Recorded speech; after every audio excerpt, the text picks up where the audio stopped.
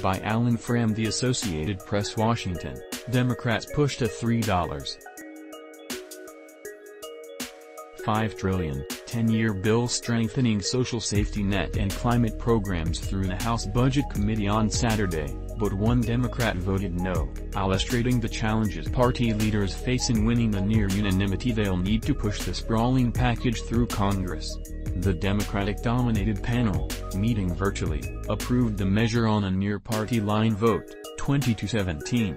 passage marked a necessary but minor checking of a procedural box for Democrats by edging it a step closer to debate by the full House. Under budget rules, the committee wasn't allowed to significantly amend the two, 465-page measure, the product of 13 other House committees. More important work has been happening in an opaque procession of mostly unannounced phone calls, meetings and other bargaining sessions among party leaders and rank-and-file lawmakers.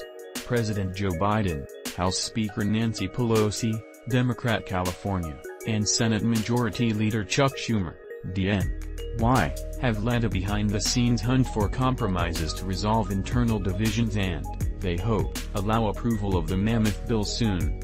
Pelosi told fellow Democrats Saturday that they must pass the social and environment package this week, along with a separate infrastructure bill and a third measure preventing a government shutdown on Friday. Her letter to colleagues underscored the pile of crucial work Congress Democratic majority faces in coming days and seemed an effort to build urgency to resolve long-standing disputes quickly. The next few days will be a time of intensity, she wrote. Moderate Representative Scott Peters, Democrat California, joined all 16 Republicans on the Budget Committee in opposing the legislation. His objections included one that troubles many Democrats, a reluctance to back a bill with provisions that would later be dropped by the Senate.